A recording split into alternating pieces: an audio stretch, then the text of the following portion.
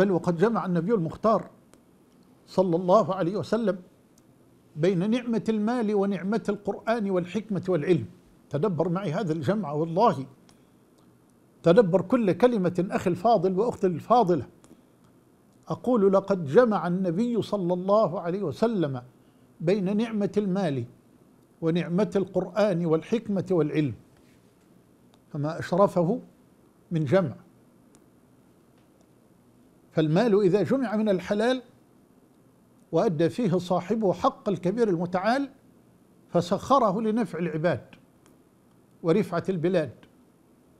فأهل الفضل أهل الفضل على مر التاريخ قد سخروا أموالهم لكل الخدمات والإنجازات الحضارية والدينية والدنيوية. وقد أجمع علماؤنا على أن حفظ المال من الضروريات الخمس الكبرى التي عليها مدار الشريعة ومقاصدها. أكرر لقد أجمع علماؤنا على أن حفظ المال من الضروريات الخمس الكبرى التي عليها مدار الشريعة ومقاصدها. وأمرت الشريعة بحفظ المال وجودا وعدما. كما قال الشاطبي رحمه الله والحفظ لها أي للأموال يكون بأمرين. أحدهما ما يقيم أركانها ويثبت قواعدها وذلك عبارة عن مراعاتها من جانب الوجود. والثاني هو ما يضرب عنها الاختلال الواقع أو المتوقع بنهب أو بسرقة أو أو إلى آخره. وذلك عبارة عن مراعاة هذه الأموال من جهة العدم. ولا شك يا إخواني أن الذي يحفظ المال ويقيم أركانه ويثبت قواعده هو استثمار المال وتنمية المال وحسن تدبيره. تدبروا هذا يا إخواني وأخواتي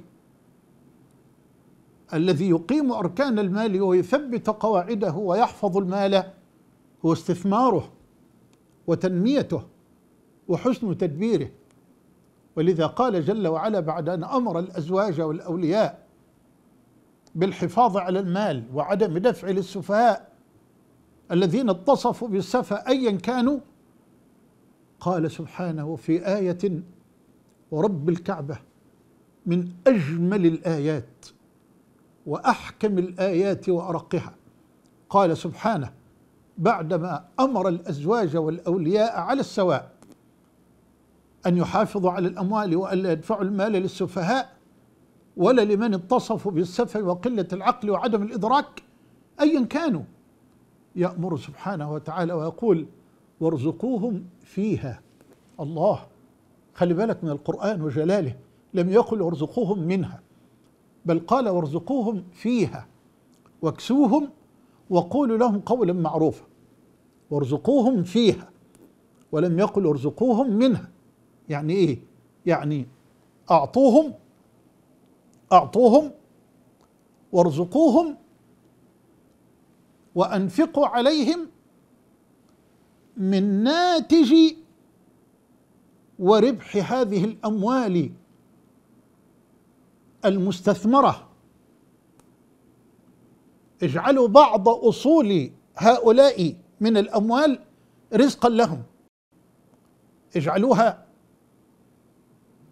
سببا للرزق بالتجارة فيها وتنميتها واستثمارها لتكون أرزاقهم وارزقوهم فيها لتكون أرزاقهم من الأرباح لا من أصول الأموال. هل تدبرت لفظة فيها؟ لتكون أرزاقهم من الأرباح لا من أصل المال لا من رأس المال.